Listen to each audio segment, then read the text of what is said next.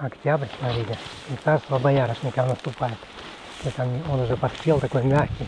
И вот два сорта есть. Есть такие красные, а есть такие темно-бордовые.